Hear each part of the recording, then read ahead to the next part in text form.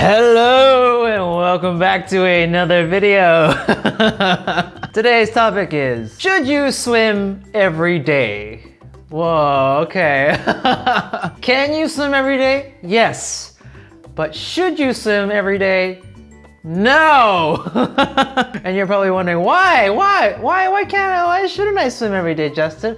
Well, I'm going to explain to you in this video why you should not swim every day. By the way, if you're new to this channel, subscribe and like this video and uh, let's hear what Justin has to say, okay? Here's the thing about swimming that a lot of people don't know. A lot of people that come to me asking for my help, learning how to swim, learn, getting swimming lessons from me, getting some coaching from me done, guess what? These are all former runners, former athletes, former soccer players, former football players, form, former dryland sport activity people. They go visit their doctors and the doctor says, you've been doing X amount of years doing this sport and look what it's done to your body. It's ruined your joints, your bones. If you keep this up, you're gonna be in a wheelchair in the next few years, so you better stop or switch to an alternative sport.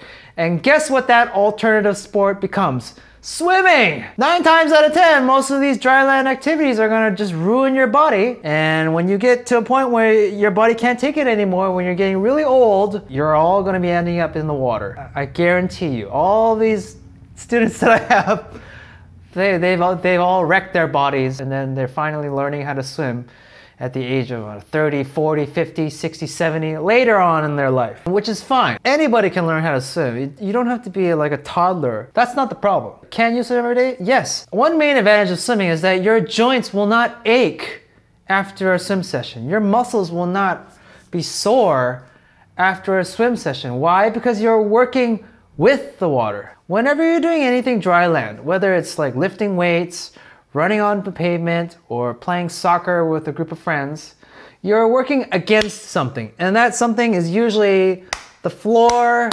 usually something where your joints in your, your limbs, your feet, or your arms has to have some sort of shock involved, impact. You won't feel it every time you step on concrete, every time you run, one foot in front of the other. By the way, I am a runner. I understand your world. I've done so many other dryland activities as well. But the one thing that separates swimming from all of these dryland activities is the lack of impact. There is no shock when it comes to working with the water. You're working with the water.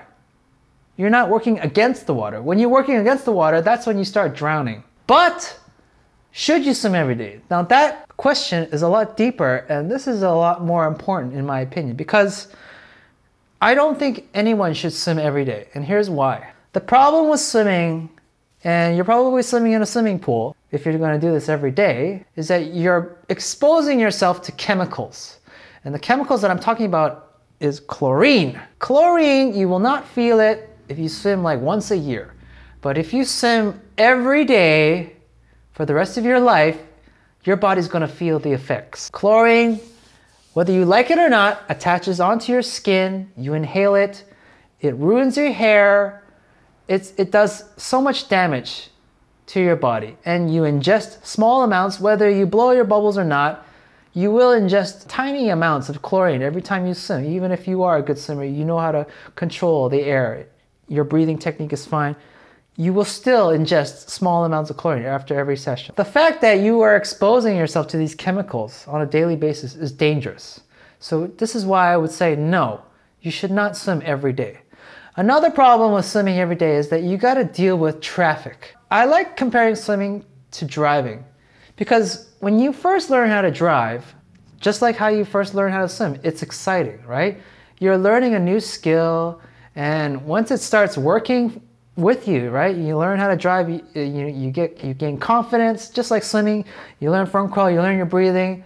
You swim from one end to the, the other end of a pool. You, you get excited because like, wow, I, I can do this with my body and wow, I accomplished this feat. Let's, let's go further, further, further, further. Let's, let's go, let's do more. Just like driving, right? You get excited and you want to take the car out every day. You want to go to the pool every day. You just want to just refine your skills, get better at it. I know that feeling. I was like that too. When I first learned how to do front crawl, I was so excited. I can do one lap, boom, boom. I want to do two laps, then three laps the next day, then four laps the next day, right?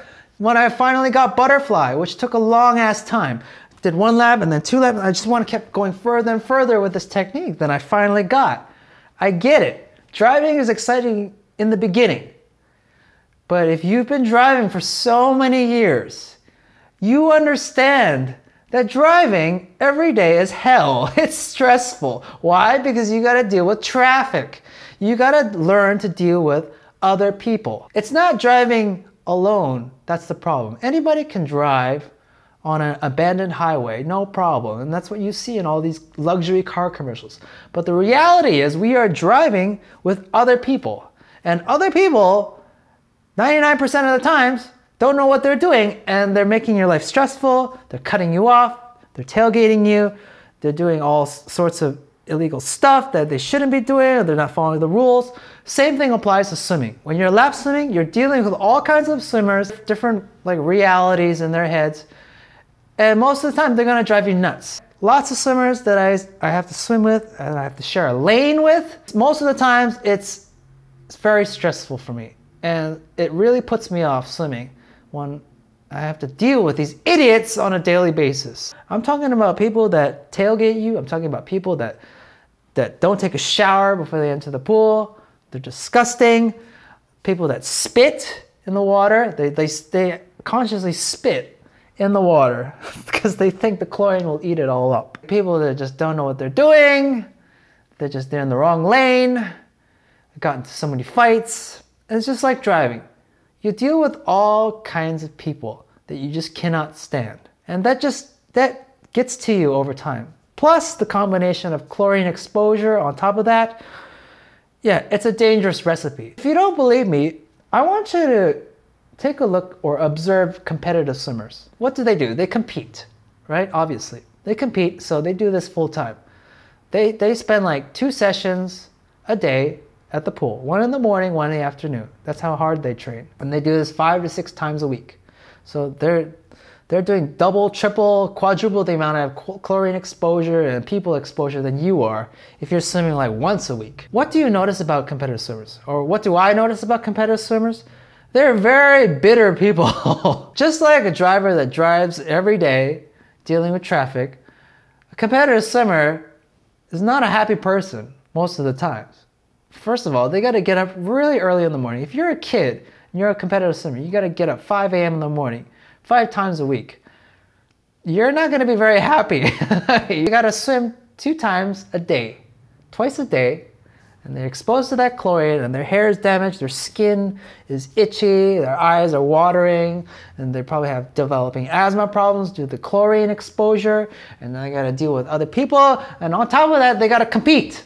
So they're swimming in a team, but in their mind, just like their coach installs, they have to be number one. They have to beat everybody in the pool. And that's just more stress on top of stress. Do you see the effect? So I have never met a happy competitive swimmer through, throughout my career. Most competitive swimmers are bitter, they're jaded, they're kind of disgruntled. And I feel for them. I mean, if I had that kind of life, I would be disgruntled as well. A lot of people look up to competitive swimmers. They see them standing on the podium holding a gold medal. Me, I look, I see the opposite. I see like how much sacrifice and stress was involved in order to get to that, that, that place where they are. Should you swim every day? No, you should not. What I do recommend is that you balance swimming with dry land activities. And I said this previous in my previous videos. You should balance swimming with running. What do you do when you run? You are free to go anywhere you want. There's no one tailgating you. You're not competing with other people. And do not try to substitute running with treadmills, okay? Treadmills, you're stuck in this virtual running simulation. On each side, there are other runners besides you. That, they, that gets annoying. You gotta find a place that has one of these treadmills or you got to buy one of these expensive treadmills. And there is no adaptation when it comes to using a treadmill. I mean, it's just a flat floor you control and you, your, your mind just turns off. Or my mind just shuts off when I'm on a treadmill because there's nothing to adapt to. Whereas if I'm running outside, I got to adapt to the pavement. I got to adapt to the conditions. There might be somebody coming towards me that I have to swerve around or I have to adapt to the wind, the, the rain, the weather conditions, all of that. That's exciting. Plus, the scenery keeps changing as I run further and further. Running, yes, it's pain in the ass. Your joints and muscle will aches, just like my joints and my muscles ache after every run, no doubt. But once you get over that hump, just like swimming has a hump of itself, yes, running has a lot of benefits. For example, you can get cut, you, you can you develop your cardio, your stamina just shoots out from, from the roof, you can do more laps. So one helps the other. Running helps swimming and swimming helps running in the end. What I recommend is you should do a balanced approach when it comes to both of these. You swim on Monday, you run on Tuesday. You swim on Wednesday, and then you run on Thursday, and then you take Friday, Saturday, Sunday off. You take you need to take that time off. If you are a beginner, yes, you can spend more time in the water because you're learning the ABCs. And when you learn the ABCs, what are you doing? You're learning how to control your breathing. And that doesn't take a lot of toll on your body, like physically wise, right? So spending like three to four sessions a week as a beginner in the pool, just learning how to blow bubbles, learning how to float or glide or move your arms. Yes, that's good. You can do that. Later on, later on, once you get into lap swimming mode, when you're going back and forth and you're sharing a lane, a tiny little lane with all these idiots that don't know what they're doing, it's going to get to you. It's going to aggravate you like it does to me. And I get easily aggravated when I'm swimming because most people just don't follow the rules. The rules are just plastered right on the side of the wall for everyone to see. This, these are the pool rules.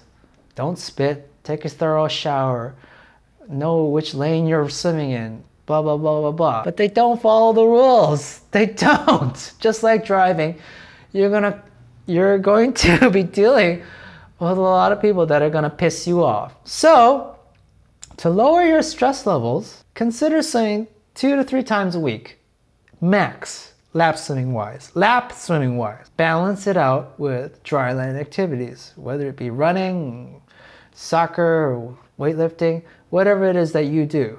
But for cardio wise, running is the best option in my opinion. Don't do cycling, okay? I don't like cycling. Cycling the bicycle does all the work for you, in my opinion, okay? And I know this because I run alongside cyclists. I cycle and I just don't feel the effects compared to running. Stick with running and swimming for your cardio. If you really want to learn how to swim, sign up for my online course, 7dayswim.co. Click the link down below. Thousands of students have enrolled in this course and they learned how to swim from, from yours truly. Thank you very much. You're welcome. And if you don't have any money, then you can join our private Facebook group for free and we can help you out for free. All you have to do is click the link down below, ask questions. You can post your videos of yourself swimming for feedback, and I, I'm there actively helping out people for free. So you've got all the tools that you need under your belt. All you have to do is turn off your computer, get in the water, and start doing the work, okay? So thanks for watching. Subscribe to this YouTube channel, like this video, click that bell, bing, and I will talk to you next time. Bye-bye.